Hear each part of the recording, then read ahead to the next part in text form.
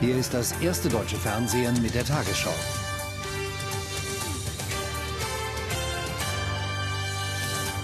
Guten Abend, meine Damen und Herren. Ich begrüße Sie zur Tagesschau.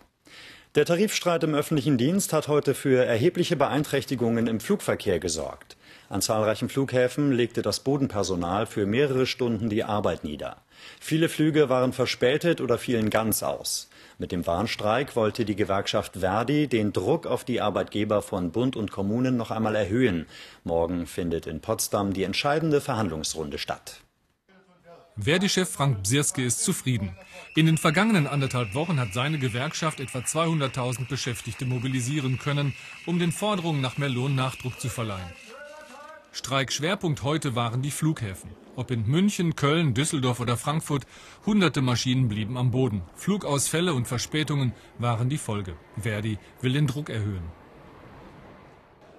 Der Streik heute an den Verkehrsflughäfen in der Bundesrepublik setzt nochmal ein klares Zeichen der Ernsthaftigkeit, aber auch ein klares Zeichen für die Konfliktpotenziale, die in den Betrieben vorhanden sind. Und ich setze sehr darauf, dass die Arbeitgeber es verstehen. Denn mit dem Angebot von zuletzt 3,3 Prozent für zwei Jahre ist Verdi nicht zufrieden. Die Arbeitgeber glauben aber, nicht mehr finanzieren zu können. Jede Tariferhöhung, die über das, was die äh, einzelnen Arbeitgeber in den Haushalten vorgesehen haben, muss ja ergänzt finanziert werden. Ja, es führt dazu, dass die Kindergartenbeiträge wahrscheinlich wieder steigen. Es führt dazu, dass die Buspreise auch wieder steigen. Die Gewerkschaft besteht weiter auf einer Lohnerhöhung von 6,5 Prozent, aber mindestens 200 Euro mehr im Monat. Die 200 Euro sind eigentlich für mich der Motor, äh, da mitzumachen, weil damit die unteren Gehaltsgruppen endlich mal ein bisschen äh, davon profitieren würden. Aber nicht nur die Flughäfen wurden bestreikt. In Rheinland-Pfalz fuhren in vielen Städten weder Busse noch Bahnen. Tausende Fahrgäste mussten sich Alternativen suchen. Bundespräsident Gauck und sein polnischer Kollege Komorowski haben die besondere Beziehung zwischen ihren Ländern betont. Gauck sagte am zweiten Tag seines Antrittsbesuchs, Deutschland und Polen verbinde der Kampf gegen die Diktatur in der Vergangenheit. Polen sei für ihn das europäische Land der Freiheit. Gemeinsam mit Komorowski will er nun die deutsch-polnische Freundschaft vertiefen. Nach dem Gespräch traf Gauck auch den polnischen Regierungschef Tusk. Händeschütteln beim polnischen Premierminister. Bundespräsident Gauck machte Donald Tusk in Warschau seine Aufwartung. Ein halbstündiges Gespräch in entspannter Atmosphäre und hinterher stellte Joachim Gauck etwas sehr Wichtiges verblüffend einfach fest. Ich bin 72 Jahre alt. Ich überblicke eine lange und immer, nicht immer gute, sondern oft böse Geschichte zwischen Deutschen und Polen. Es berührt mein Herz deshalb, weil diese dunklen Schatten der Vergangenheit meinen jetzigen Besuch überhaupt nicht getrübt war. Schon vormittags bei einer Pressekonferenz mit dem polnischen Präsidenten Komorowski war aufgefallen, wie herzlich die beiden Staatsoberhäupter, denen beide Freiheit sehr wichtig ist, miteinander umgehen. Wir mussten beide für unsere Freiheit kämpfen. Wir hatten uns was zu sagen. Ihr Besuch, Herr Präsident, ist ein Symbol für immer bessere deutsch-polnische Beziehungen. Das geht viel weiter, als normale Staaten miteinander umgehen. Das ist viel, viel mehr als einfach nur Versöhnung. Die beiden wollen sich oft treffen, erklärten sie. Und polnische Medien aller Richtungen beglückwünschen Gauck zu einem gelungenen Einstand. Er wirkte wie ein Politiker mit großer Erfahrung, Joachim Gauck auf dem schwierigen diplomatischen Parkett in Polen. Instinktiv traf er den richtigen Ton, herzlich, warm, persönlich, weniger Repräsentant, mehr Sympathieträger. Vorschusslorbeeren hatte Gauck genug. In Polen hat er bewiesen, dass sie berechtigt waren, aber jetzt müssen den Worten Taten folgen. Ein Jahr nach dem Ausbruch der Gewalt in Syrien zeigt sich die Regierung in Damaskus angeblich verhandlungsbereit. Wie der UN-Sonderbeauftragte Annan mitteilte, hat die syrische Führung in einem Schreiben seinen Friedensplan akzeptiert. Er umfasst unter anderem eine Waffenruhe und Gespräche über eine politische Lösung des Konflikts. Aus Damaskus gibt es allerdings noch keine offizielle Bestätigung. Nach einer neuen Schätzung der Vereinten Nationen sind bei den Kämpfen bislang 9000 Menschen getötet worden. Der diplomatische Durchbruch kam während des Besuchs in China. Der Sondergesandte von UN und Arabischer Liga, Kofi Annan, vermeldete über einen Sprecher, dass Syrien seinen Friedensplan akzeptiert habe. Dieser sieht als wichtigsten Punkt ein sofortiges Ende der Gewalt vor.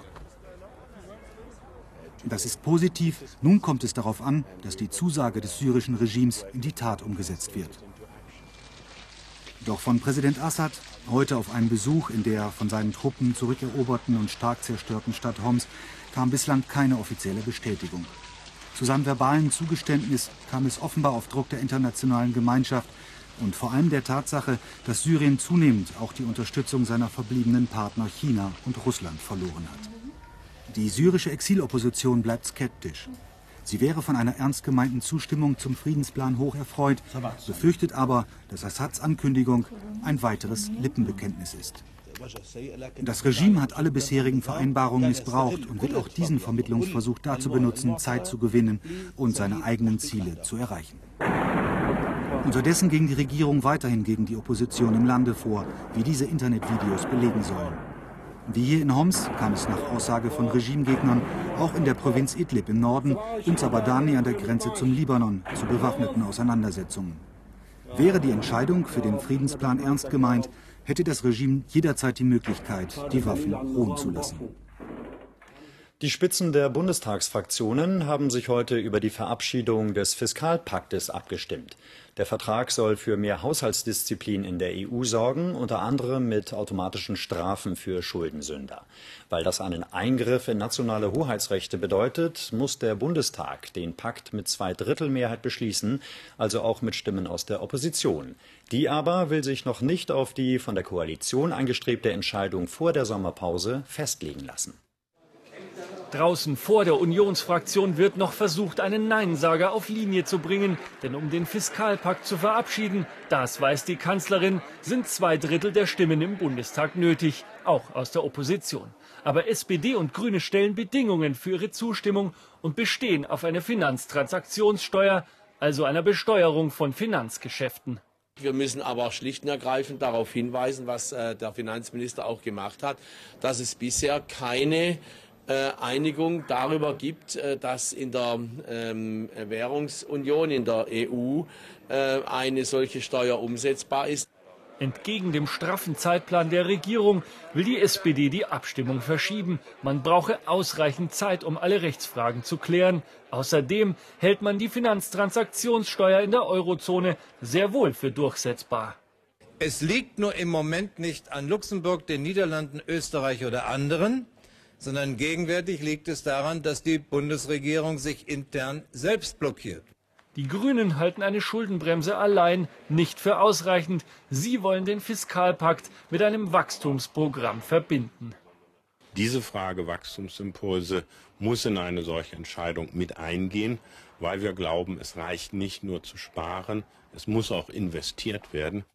Auch wenn sich noch keine Einigung abzeichnet, am Donnerstag berät der gesamte Bundestag erstmals über den Fiskalpakt. Zusammen mit dem Fiskalpakt will die Koalition vor der Sommerpause auch den ständigen Euro-Rettungsschirm ESM durchs Parlament bringen.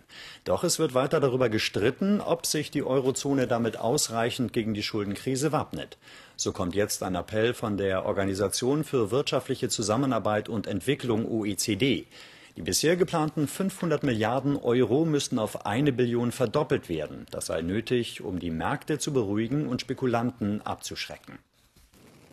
Gasleck an einer Bohrinsel in der Nordsee. Aus einer Förderplattform des Totalkonzerns vor der schottischen Küste tritt seit zwei Tagen unkontrolliert Gas aus.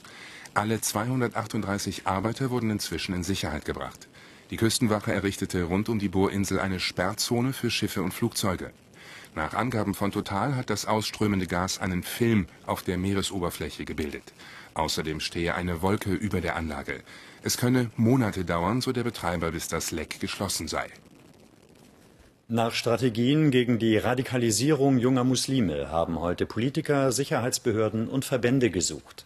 Bei der Tagung in Berlin ging es um Erfahrungen mit einer Initiative, die Bundesinnenminister Friedrich vergangenes Jahr angestoßen hat. Polizei und muslimische Gemeinden arbeiten in sogenannten Sicherheitspartnerschaften zusammen, um frühzeitig zu erkennen, wenn junge Muslime in den Extremismus abdriften.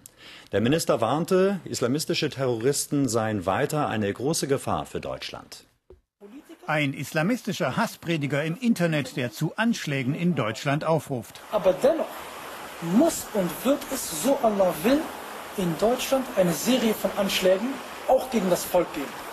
Einzeltätern, die sich im Internet radikalisieren, sei schwer auf die Spur zu kommen, so heute der Innenminister. Umso wichtiger sei die Sicherheitspartnerschaft mit den muslimischen Organisationen. Sie alle wissen, dass die überwältigende Mehrheit der Muslime, die in unserem Land leben, in unserer Gesellschaft lehnen, Terrorismus nicht nur scharf ablehnen, sondern auch sehr offen sagen, diese Menschen diskreditieren unsere Religion, im Internet finden sich inzwischen professionell gemachte islamistische Propagandamagazine auch mit Anleitung zum Bombenbau. Doch oft sind gar nicht die Inhalte entscheidend für eine Radikalisierung, eher persönliche Probleme. Das, was wir im Moment erleben, ist im Grunde der Versuch der Radikalisierung bestimmter Gruppen junger Menschen, die aus Ungerechtigkeitsgefühlen heraus oder weil sie als Verlierer sich selbst sehen, den Anschluss an extremistische Gruppen möglicherweise dadurch finden, dass man ihnen vorgaukelt, dass hier eine soziale Bindung entstehen kann. Die Muslime müssten sich in Deutschland akzeptiert fühlen. Das, so die muslimischen Verbände, sei die beste Prävention. Wir müssen deutlich machen, dass Erfahrung von Diskriminierung, dass gerade die Erfahrung von Ausgrenzung, auch Islamfeindlichkeit dazu führt, dass diese Menschen mit ihrer verbrämten religiösen Vorstellung sich dann ihrerseits radikalisieren. Wie man der Terrorpropaganda im Internet selbst entgegentreten kann, etwa durch Aufklärung und Information, dafür haben die Experten noch kein Rezept gefunden. Am zweiten Tag seines Kuba-Besuches hat Papst Benedikt XVI. auf das Schicksal der politischen Gefangenen aufmerksam gemacht. Nach dem Besuch einer Wallfahrtskirche erklärte das Kirchenoberhaupt, er habe dort auch für die Menschen gebetet, die litten, ihrer Freiheit beraubt oder von ihren Lieben getrennt seien. Es war einer der wenigen stillen, fast privaten Momente auf der Lateinamerika-Reise Papst Benedikts. In Santiago de Cuba kam er zum stillen Dialog mit der Mutter Gottes, dargestellt in der Statue der Jungfrau von El Cobre, gleichzeitig die Schutzheilige der Kubaner. Anschließend sprach er nochmal zu den wenigen Einwohnern von Santiago, die ihn hierher begleiten durften. Lasst alle, die ihr trefft, nah und fern wissen, dass ich heute der Mutter Gottes die Zukunft eures Landes anvertraut habe den Durchbruch bei der Erneuerung eures Landes und die Hoffnung auf das Wohl aller Kubaner. Gestern am Abend feierte der Papst mit 200.000 Menschen in Santiago eine Messe zu Ehren der Schutzheiligen der Insel, an der auch Präsident Raúl Castro teilnahm. Benedikt XVI. forderte die Menschen auf, mit den Waffen des Friedens für eine offene Gesellschaft zu kämpfen. Heute Vormittag verließ der Papst Santiago ohne weiteres Bad in der Menge. Viele Kubaner hat er tief beeindruckt. Ich bin immer noch total aufgewühlt. Ich bin sicher, dass etwas Gutes kommen wird nach dem Besuch des Papstes. Vor knapp einer Stunde ist der Papst in der Hauptstadt Havanna gelandet, wo er Präsident Raúl und wahrscheinlich auch dessen Bruder Fidel Castro zu politischen Gesprächen treffen wird. Möglicherweise sogar Venezuelas Präsident Hugo Chavez, der sich derzeit zur Krebstherapie in Kuba aufhält. Im Trikot der Fußballnationalmannschaft hat sie mehr Tore geschossen als Fritz Walter, Uwe Seeler und Franz Beckenbauer zusammen. Heute hat der Deutsche Fußballbund seine Rekordspielerin Birgit Prinz mit einem Abschiedsspiel geehrt. Vor dem Anpfiff dankte DFB-Präsident Miersbach der 34-Jährigen in Frankfurt am Main für ihre Leistungen. Mit ihren 128 Länderspieltoren habe Prinz dem Frauenfußball ihren Stempel aufgedrückt. Anschließend trat die zweifache Weltmeisterin mit Weggefährtinnen gegen die aktuelle Nationalmannschaft an. Und nun die Wettervorhersage für morgen, Mittwoch, den 28. März. Morgen dürfen wir nochmal mit viel Sonnenschein rechnen, dank des Hochs, dessen Zentrum über Großbritannien liegt. Danach ändert sich dann das Wetter. Erst wird es in der Nordosthälfte wechselhafter und kühler, später auch in den übrigen Landesteilen. In der Nacht bildet sich im Osten hier und da Hochnebel, sonst nur einzelne Nebelfelder. Am Tag kann es im Osten mancherorts bis in die Mittagsstunden dauern, bis sich der Nebel auflöst, ansonsten viel Sonne. Am Abend ziehen dann im äußersten Norden erste kompaktere Wolken auf. Im Norden und Nordosten mäßiger bis frischer Wind, an der Ostsee einzelne Sturmböen, sonst Wetterwind schwach. Heute Nacht 8 Grad im Rhein-Main-Gebiet, minus 1 Grad an den Alpen. Am Tag 10 Grad auf den Inseln, 22 Grad am Rhein. Am Donnerstag in der Nordosthälfte hier und da etwas Regen und viel Wind. Im Südwesten scheint am Donnerstag und Freitag noch häufig die Sonne. Ansonsten ist es am Freitag meist stark bewölkt und windig. Am Samstag insgesamt wechselhaftes Wetter, im Bergland und im Norden ein paar Schneeflocken. Um 22.15 Uhr begrüßt sie Karin Mioska in den Tagesthemen. Sie geht der Frage nach, warum die Polen unseren Bundespräsidenten so mögen. Und sie zieht Bilanz nach einem Jahr grün-roter Landesregierung in Stuttgart. Ich wünsche Ihnen noch einen schönen Abend.